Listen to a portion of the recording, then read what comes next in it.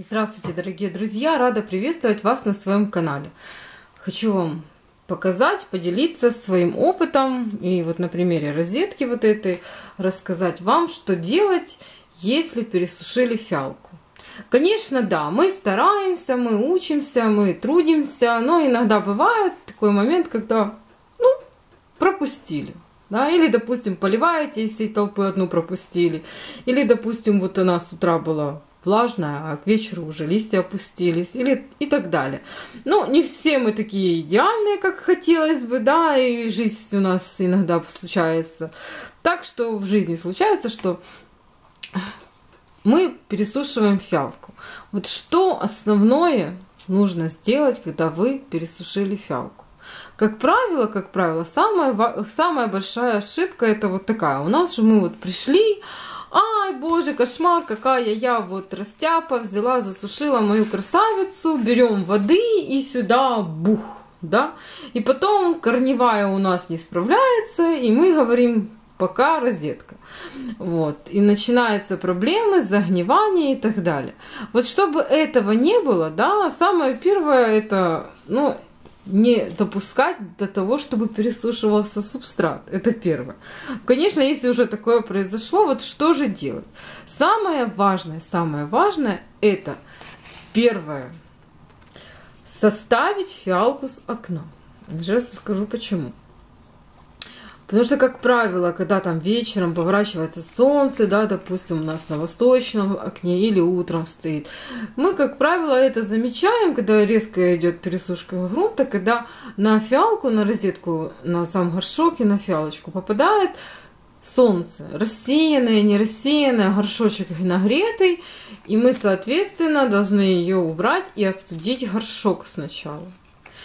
Если нет возможности подождать, пока солнце уйдет, да, надо на это обратить внимание. Это очень важный момент, потому что если мы на теплый горшок, на теплую землю дадим сразу воду, даже если она будет теплая, то корневая просто запарится. Поэтому мы снимаем фиалочку с окна, так, если не можем дождаться, ждем хотя бы полчаса, трогаем горшочек, остыл. Хорошо, теперь следующее действие, конечно же, поливаем. Так, поливаем не так, как я рассказывала в предыдущем ролике, да, до первой капли. А поливаем, вот листочки подняли, чуть-чуть, все. Первой капли нет. Видите, земля пересушенная. Почему вся вода оказалась в поддоне? Потому что если вот вы посмотрите, вот видно, сейчас я постараюсь, видно, что когда э, пересушенный субстрат, вот он отходит практически вот от края горшка. Знаешь, он спрессовывается. Вот еще почему нужны разрыхлители, что когда вот присушивается субстрат, чтобы он не так спрессовывался. И, соответственно, если мы поливаем, да, вот немного, вода, конечно же, по краю просто берет вот по горшку, сразу в поддон сливается. Из-за этого, из-за этого нужно вот эту водичку, которая у вас в поддоне, когда вы чуть-чуть полили, не убирать, чтобы она впитывалась. Конечно, вы насыпали на дно горшка керамзит, пенопласт. Вот керамзит я категорически против. Значит, мы керамзит, если вы насыпали, значит убирайте. Вот, чтобы не было потом загнивания корней. Если насыпали пенопласт, у вас вот, да, допустим, пенопласт насыпан, хотя я тоже говорю, что я против пенопласта, потому что он, ну, практически никакой функции не, не выполняет. Вот, у меня нет пенопласта, да. Если вы насыпали, значит, соответственно, вода, которая остается в поддоне, она нигде не девается, она не впитывается назад, потому что пенопласт на себя ничего не берет. Так? Значит, в таком случае, если у вас в горшке пенопласт, вы просто вот поверху несколько раз добавляете, и воду из э, поддона нужно убирать. Э, за сколько отойдет вот листочки фиалки? насколько, через какое время вот они начнут от, отходить, отпаиваться. Вот вы чуть-чуть полили, буквально немножечко. Дайте постоять хотя бы вот 2 часа. Если у вас с пенопластом, то да, там час, два, три. Если нет пенопласта и у вас вот в, через поддон впитывается вода, то можно 4, 5, 6. Так, потом через это время будет, на вид, будет видно насколько листочки стали упругими. Они вот немножко начинают отходить. Самые первые, самые первые набирают упругость те, которые ближе к центру. Это такое правило. Потому что бывало у меня такое, что я пересушила розетку, строгаю нижнюю, они вялые, думаю, ну все, не допоила, не это, туда все в порядке. Она у меня через буквально двое суток отошла полностью, все листочки отошли, стали красивые, нормальные, ровненькие, плотненькие, как положено. Поэтому, опять же, мы не торопимся, не ждем моментального результата. Результат появится где-то вот приблизительно 2-3 часа в среднем, может быть больше. Конечно, можно и пройти и не сутки, может пройти там, допустим, больше там двое суток, когда она полностью восстановится. Но, как правило, после пересушки нижние листья начинают желтеть. Теперь важный момент, очень важный момент. Если вы пересушили фиалку и у нее не восстанавливается тургор листьев, значит пошло корневое, корневая гниль. Значит, нужно обязательно залазить, смотреть, что там творится. Поэтому есть ролик, я дам ссылку, где я рассказываю, что делать, если фиалка загнила. Так, но в любом случае, если мы пересушили, нужно за этой розеткой наблюдать. У меня довольно-таки часто получается, что я, ну, не до такого состояния, это просто вот я ее пропустила вот в ряду, э, не повезло. Хотя красивый сорт, называется Nest Cherry Smoke, очень красиво зацвел. Ну, виновата. Ничего, мы отпоим. Я думаю, что ну, здесь листочки вот верхние плотненькие. Я думаю, что все будет с девочкой в порядке. Поэтому еще раз говорю, очень важно, очень важно, если вы пересушили фиалку, сразу много воды не давать. Отставить ее с окна в тот момент, когда вы хотите ее полить, чтобы она не была у вас горячая, теплая. Это такой момент очень важный.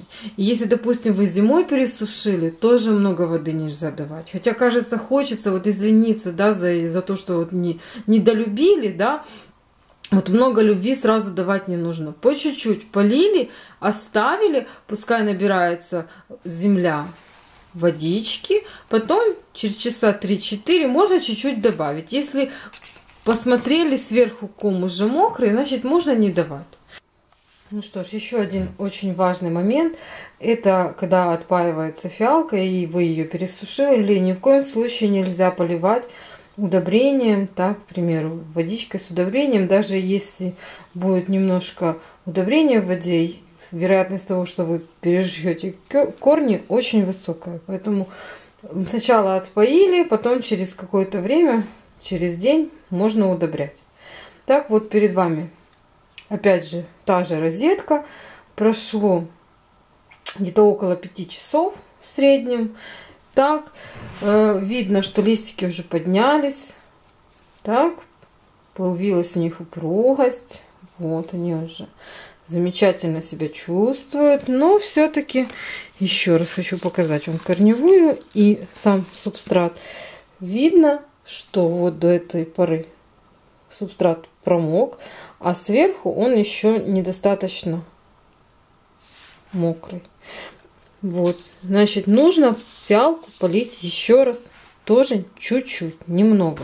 Если не хотите вытаскивать из горшка, просто можно пальчиком потрогать торф. Как я уже объясняла в предыдущих роликах, если земля сверху сухая на пол сантиметра, значит фиалку нужно поливать.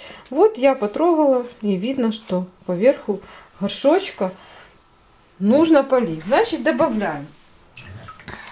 Поливаем опять же такие немножко, совсем чуть-чуть. Вот, как я уже показывала, я поливаю вот по краю горшка. Не в центр, по краю. И опять же таки, из-за того, что фиалка была пересушена, очень много в поддон идет воды.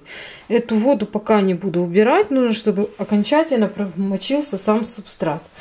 Основные моменты, когда мы пересушиваем фиалку. Первое, сразу много воды не давать. Чуть-чуть полили, через 2, 3, 4, 5 часов. Видно, что тургор восстанавливается, листочки становятся плотненькие. Проверяем верхний ком земли, добавляем. Если у нас в поддоне остается вода, оставляем ее, чтобы она немножко впиталась дальше.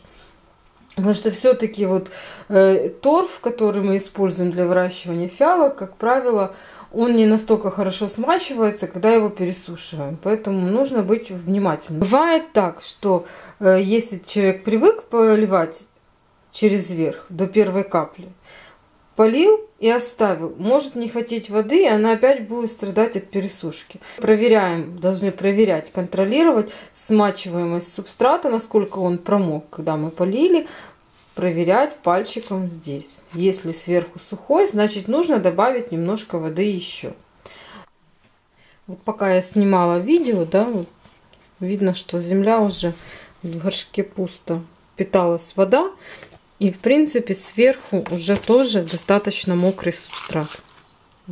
Еще можно будет чуть-чуть полить, но это уже спустя определенное время. Я думаю, что полить ее нужно будет к вечеру, там, допустим, еще опять же через каких-то там 5-8 часов уже можно будет полить еще раз, просмотреть.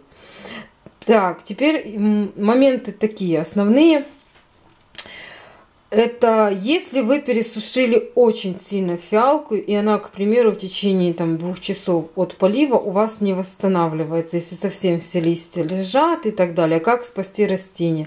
Опять же, воды много не даем, и можно ее одеть сверху пакет обыкновенный, чтобы она вот у вас не сражалась за влажность воздуха.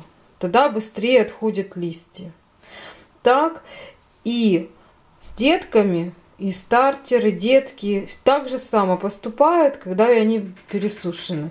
Значит, мы берем немножко, добавляем водички и потом через время опять чуть-чуть поливаем. Ни в коем случае нельзя ставить на какие-то там, вот много я читала, советуют ставить на полтора часа в воду и так далее. А если вы поставите пересушенную фиалку в полтора часа в воду, она корневая в таких случаях, как правило, не справляется, и фиалка загнивает это вот личный опыт мой, как я научилась вот отпаивать фиалочки, чтобы они при этом, да, вот не страдали. Видно, что цветочки некоторые восстановились, другие повяли. Ну, можно убрать. И, в принципе, фиалка продолжает цвести и радовать вас своим присутствием. Как бы вы уже стараетесь в следующий раз не пересушивать. Но, опять же, если пересушили, значит, сразу много воды не давайте. Давайте чуть-чуть, а потом повторяйте полив буквально там через каких-то 4-5 часов. Но опять же, если у вас в течение э, суток не восстанавливается тургор листьев, значит пошли непоправимые изменения в корневой системе. Нужно пересаживать фиалку, осматривать корневую. Если пошла корневая гниль, значит нужно переукоренять, снимать листья, ставить укореняться, уже спасать именно сам сорт. Я дам ссылку под видео, где я рассказываю, что делать, если у фиалки вялые листья и при этом мокрая земля. Спасибо за просмотр. Удачного вам дня!